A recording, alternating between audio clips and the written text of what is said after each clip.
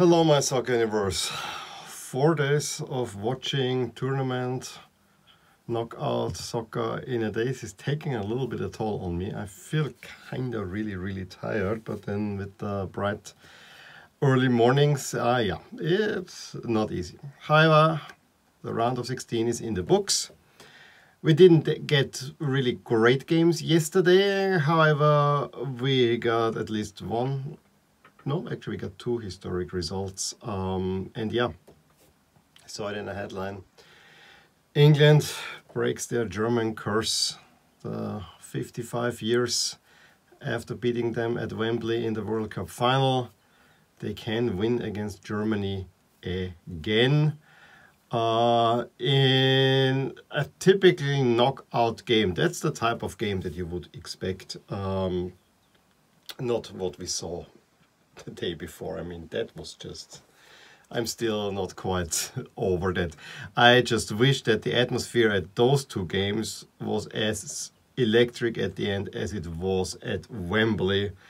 However, also gotta say caveat, I'm all for, you know, celebrating and supporting your team, but the booing of the national anthem, this is for me a no-go this is the lowest as it can be. You might not like the Germans, and they are, you might see them as your eternal rival or whatever. You just don't do that. And at that point, I definitely was more for England in that game because I actually think it will be good if England makes a deeper run. Uh, and I think they have the better squad. Um, however, that kind of, you know, tilted the needle from going England a little bit more to the neutral position. Uh, almost instantly. It, it, it, it was just in many ways tone deaf and then also when the players were kneeling, um, no. Uh, I do not get that. I really do not get that. And yes, I Austria was horrible for booing national anthems until in the mid 90s they made this an absolute um, no, do not do that. So that was actually for me the one sour point of the entire eve evening, right at the, at the, at the beginning when I was really, you know, I, I was said this is Wembley. This is how Wembley should be, and uh, yes, it's not the old Wembley, but this is still Wembley. Uh, it's an amazing atmosphere, and then my kids and my wife hear uh, the English booing the national anthem. So I I just wanted to say this up front. The other game, uh, was it better than? I mean, it didn't have the atmosphere, but in some ways it was, I think, a little bit more um, entertaining because there were more goal scenes. But then in the end, I think everyone was falling over themselves. And but it ended at least with a bang. But of course, you know, the attention was so much on England, Germany that it it really could not have. Um, lived up to that. So let's talk England, Germany. Uh, in my favorite white against black matchup. I know it's not hockey where white against black is really bad, but I still am not, you know, I do not like monocolored matchups. Then at least then give me some color, but white against black just doesn't look right, and I know they didn't have any other chance. I think if uh, England would have played in blue against Germany, white would also not have looked right. So uh, gotta say that too. Um, very defensive setup from England, uh, and I'm ac actually laughing at it. I mean, we have Italy playing uh, now expansive football, and England is taking the Italian route uh, by really being tied on the back and they do this quite effectively. Um, I also still maintain that I think part of that is that uh, Southgate is very well aware that his squad is generally overplayed.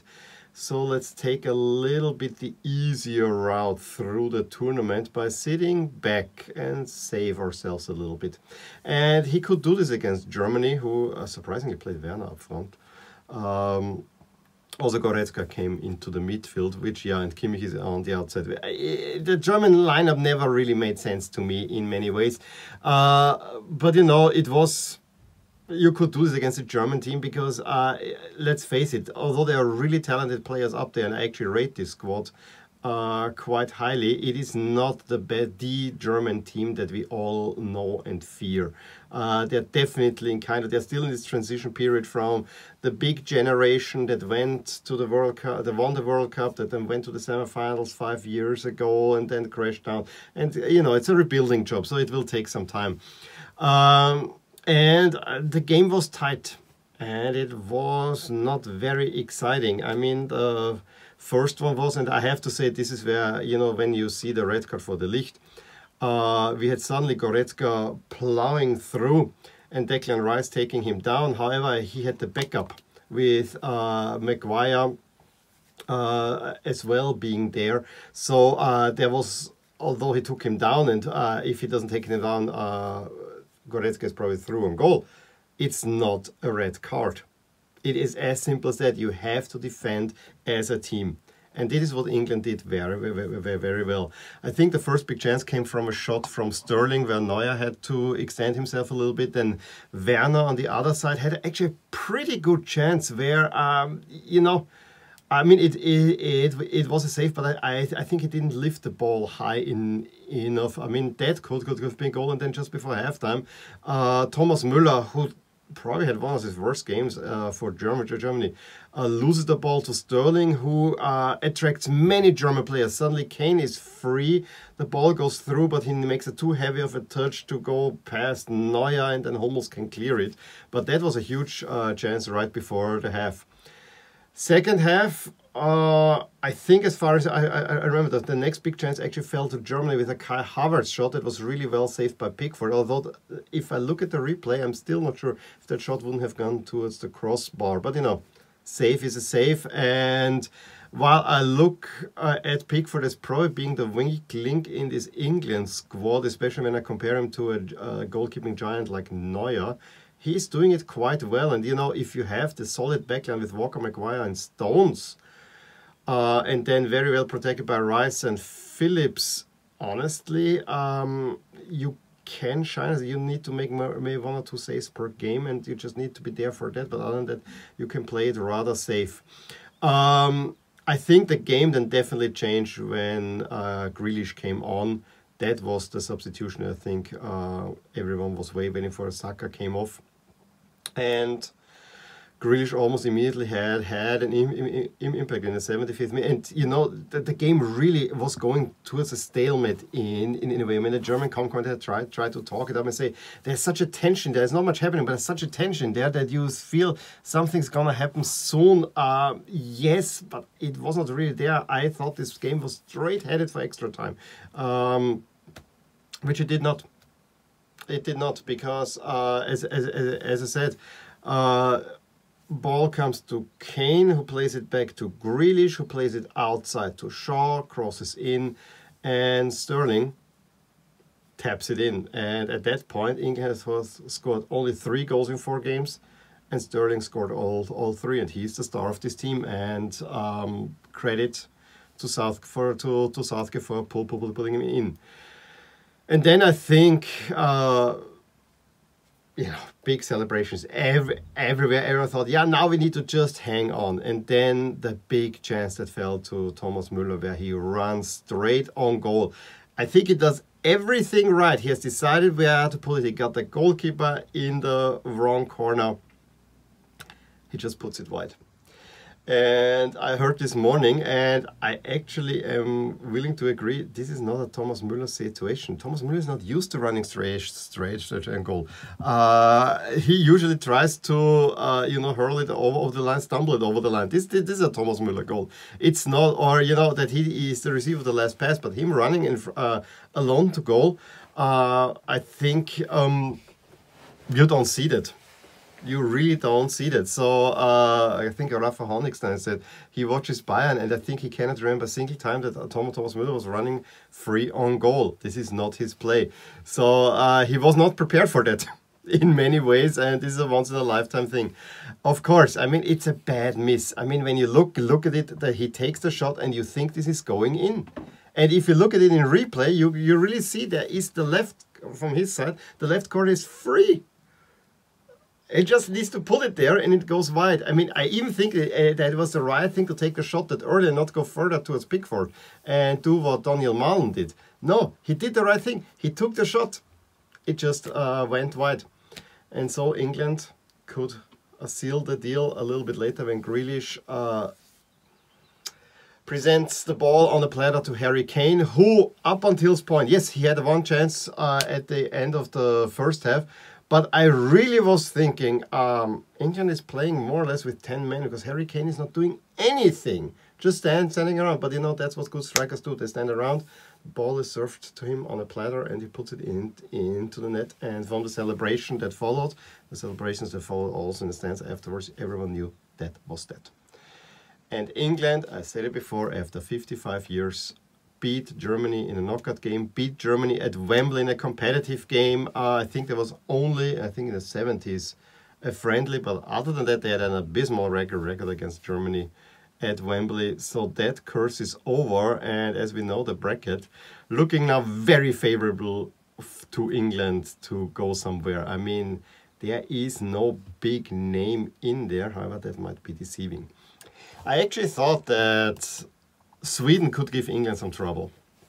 However, Sweden had to play Ukraine and in a position that Sweden doesn't like, being the favorite, needing to win, needing to do something for the game. And you could see uh, it's not what they like. Yes, I think they were, especially in the regulation, overall the better team.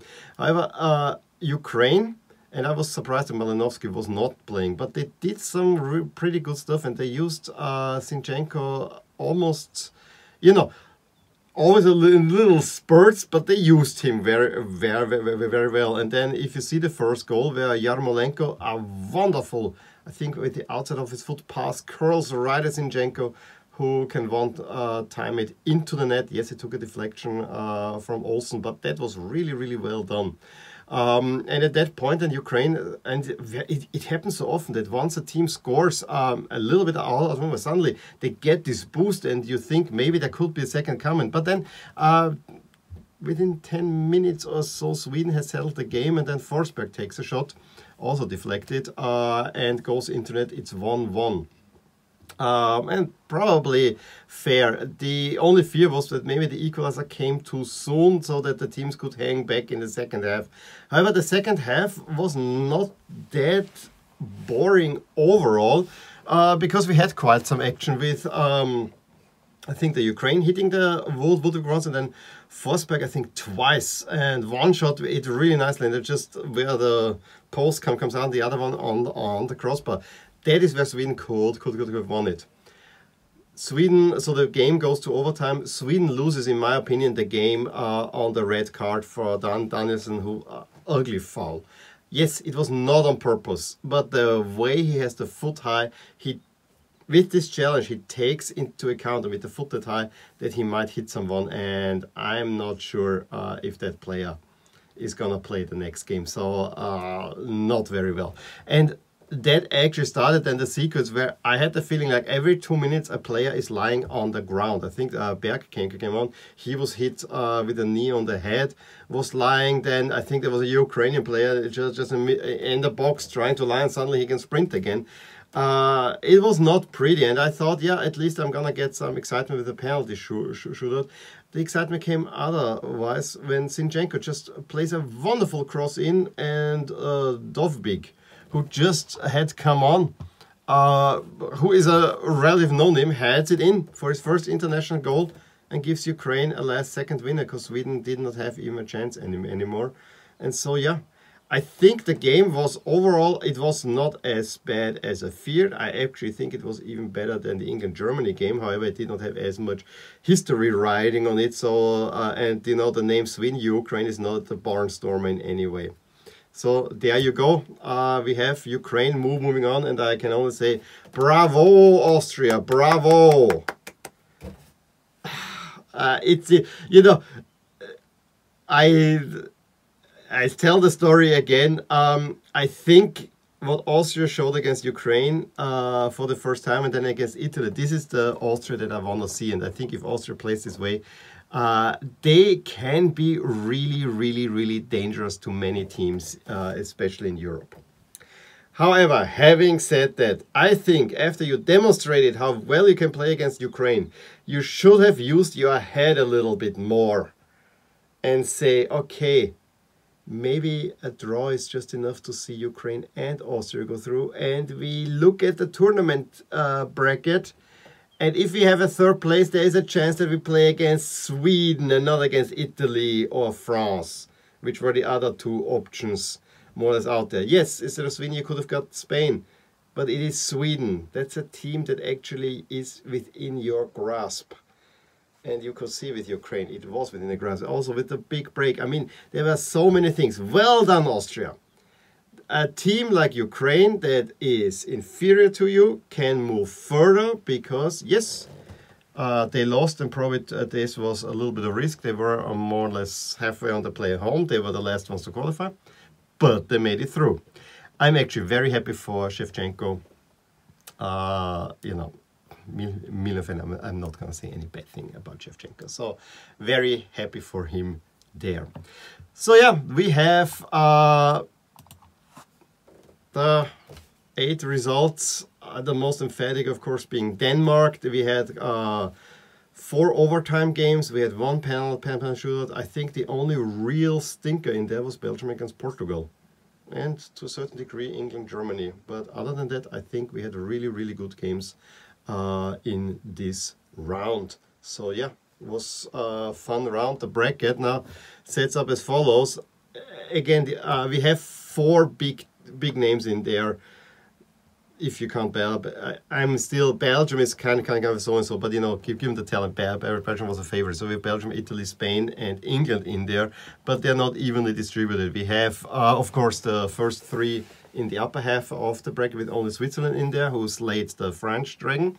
And down, England is now playing Ukraine, and then the winner of the Czech Republic against Denmark. I mean, this seems very doable for a path to the final, and my expected bracket says as much. Um, Belgium as the strongest team is still strongest rated team. I'm not necessarily saying strongest team, and at the moment I even hear that the bookies favor Italy over Belgium. But you know, FIFA and ELO rating do not. So I have Belgium going all the way to final and England actually to win it with that route. Um, as for overall chances, yes, England is number one, Belgium two. Yesterday I didn't update the Spain rating, so uh, Spain is ahead of Italy now. Uh, and Denmark falls to fifth spot. Uh, Switzerland, Czech Republic, and Ukraine make up the rounds. And I want to point to you, I sorted the eliminated teams of, you know, uh, how they're eliminated by round, and then I actually sorted them by how many points they got uh, during the tournament. And what I see is that for the first time in history, and now this is a true well done Austria, you finish ahead of Germany. I don't want to say Austria played North Macedonia, the Netherlands, Ukraine, and Italy. Germany had to play Hungary, France, Portugal, and England, so slightly differently. Also, for and I forgot to say it uh, all, um, before, I think this elimination for Germany is not as shameful as the last one because of these opponents. Uh, you could have made it through but in the end you lost out to better teams and I think you cannot be sorry about that. And so it continues on Friday, Switzerland, Spain, Belgium, Italy, and then on Saturday, uh, Czech Republic against Denmark and Ukraine against England. I have to say I'm more excited for the uh, Friday matchups than for the Saturday matchups, but you know, Denmark. I'm looking forward to Denmark, although there will be not too many fans there. In any case, please let, let me know what you thought about yesterday's games. Give me a thumbs up if you enjoyed this video. Subscribe to my channel if you want to see more. And I will talk to you soon. Bye. Hey, just in case you enjoyed this video, here are some videos and playlists that you actually might enjoy too. Also, please consider following me on social media and actually subscribe to my channel so that you stay up updated with everything that happens in my soccer universe. And with that, have a wonderful day. Bye.